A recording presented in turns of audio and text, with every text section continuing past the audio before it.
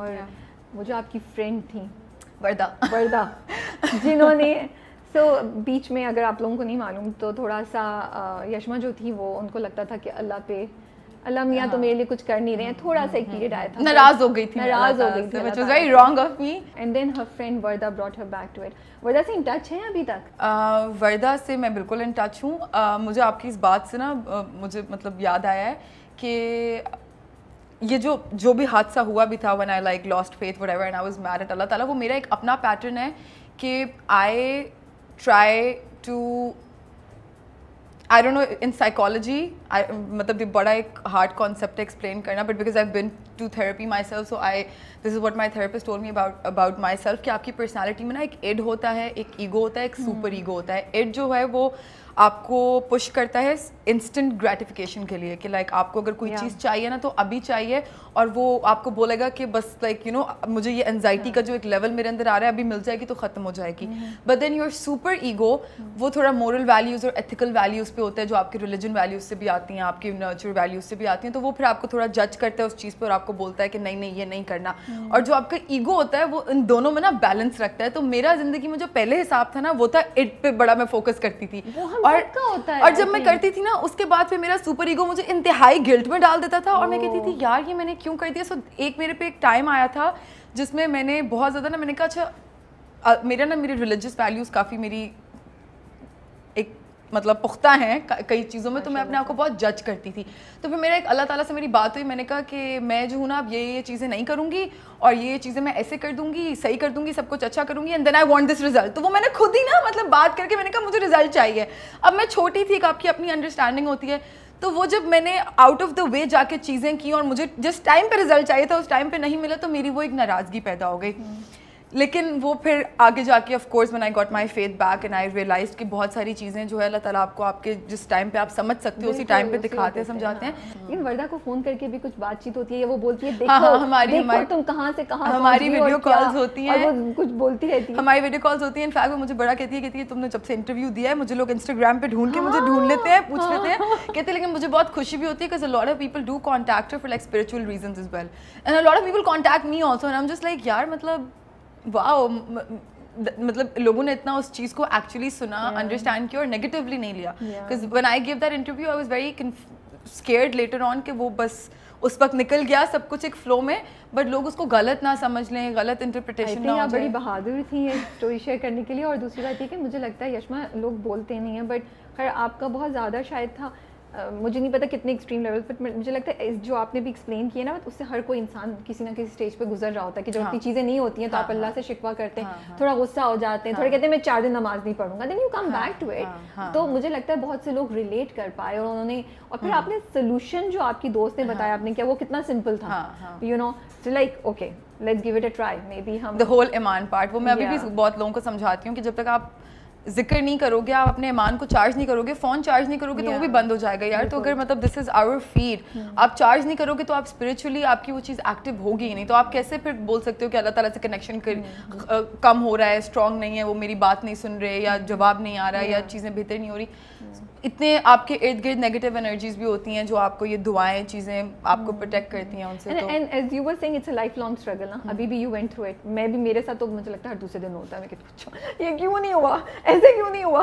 अल्लाह ताला है you know नहीं नहीं बट आई अल्हम्दुलिल्लाह I have this I have a very firm belief now कि कुछ भी जो भी कुछ बुरा भी हो रहा है ना तो वो मेरी किसी बेहतरी के लिए ही yeah, उस वक्त हमें समझ नहीं आ रहा हाँ, वो दो टाइप की आपके ऊपर बुराई होती है ना एक आपके एक आपके गुनाह धोने के लिए हाँ, धोने के लिए होती है और वो आपको अल्लाह ताला से करीब करने के लिए होती है और एक होती है जो एक्चुअली सजा होती है। बट उसमें भी आपका गुनाह आपके गुनाह धुल रहे होते हैं तो हाँ। अल्लाह ताला ने तो दोनों तरीके से विन विन सिचुएशन रखी है आपके लिए।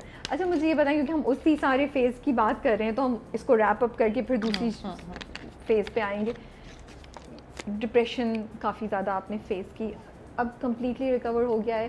क्योंकि मेरा सवाल इसलिए क्योंकि आप जिस इंडस्ट्री में मुझे लगता है उधर बहुत उतार चढ़ाव आता रहता है। उधर बहुत से नॉट जस्ट की इंडस्ट्री इट हो सकता है कुछ फैक्टर्स इंडस्ट्री के भी हों कैरेक्टर्स के भी factors they could be triggers right so how do you handle क्या होता है आजकल? And for anybody who's gone through what you have उसके लिए जो इसी तरह की सिचुएशन में हो क्या एडवाइस करेंगी या आप क्या रिलेट वो कर सकते हैं आपसे? अच्छा फर्स्टली तो मैं बोलूँगी कि जिस मुझे एज में हुई थी I was twenty and I am 27 now so this is seven years और अभी भी ऑफकोर्स एक चीज़ चल रही है। तब मुझे बिल्कुल भी अंडरस्टैंडिंग नहीं थी, मुझे पता भी नहीं था कि डिप्रेशन क्या है। मुझे लगा था कि मैं बिल्कुल शायद पागल हो गई हूँ और वो जो बचपन में फिल्म्स में देखा था ना कि अब आप एक मेंटल अजाइलम में हो गए, बाल कटे। तो ये मुझे लाइक इस तरह के मेरे बारे में ख्याल आते थे कि अब मेरे साथ शायद ये होने वाला है।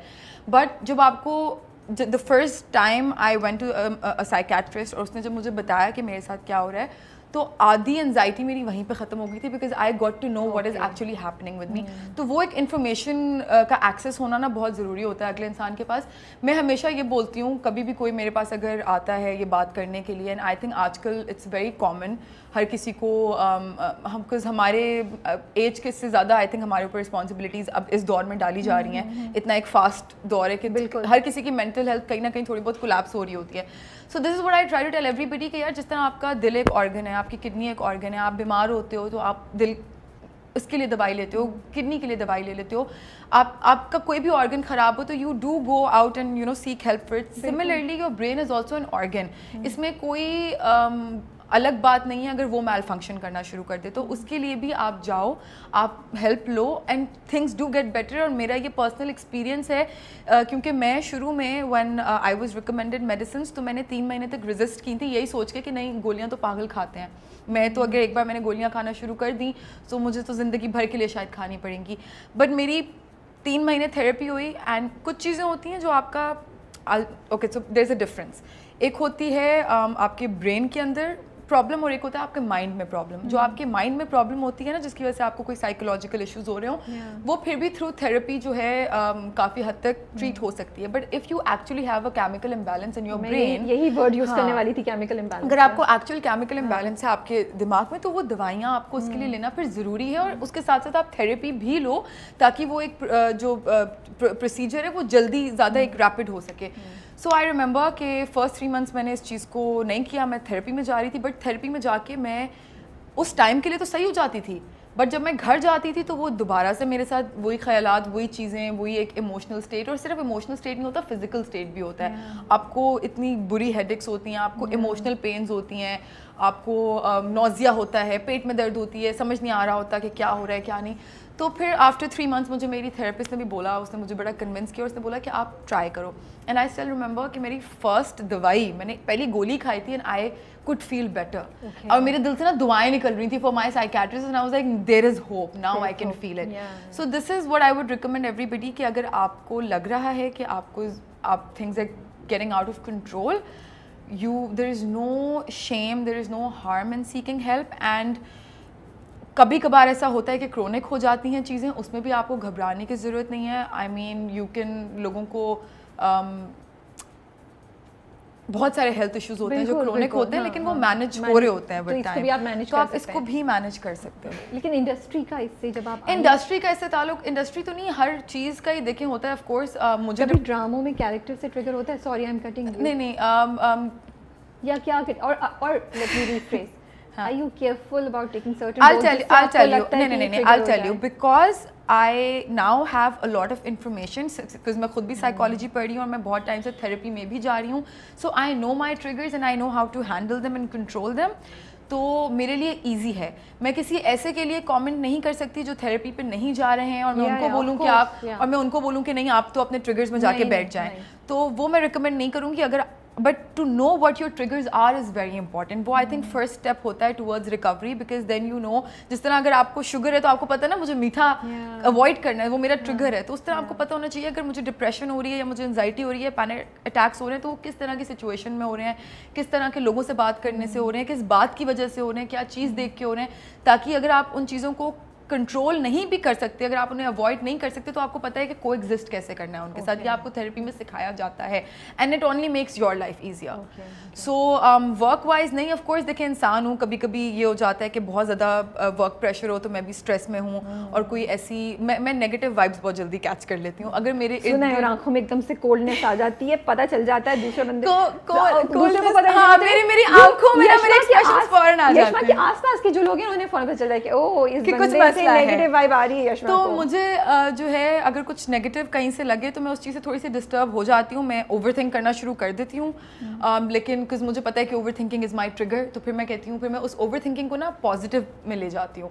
मैं उस इंसान फिर I try to send positive vibes out ताकि वो पॉजिटिव नेगेटिव क्लैश हो के ना थोड़ा वो अगला इंसान भी पॉजिटिव हो जाए। So that's what I try to do from my end but काम वाइज कभी कुछ ऐसा नहीं हुआ कि कोई कैरेक्टर हाँ um, ये होता है कि ज़ाहिर सी बात है you have to live your character on set तो वो आप फील कर रहे होते हो आप एक जोन में जा रहे होते हो लेकिन क्योंकि मुझे पता होता है वो जोन यशमा से डिटैच्ड जोन है तो वो मुझे बाद में घर आके आज सच इफ़ेक्ट नहीं करता। चलो दैट इज़ गुड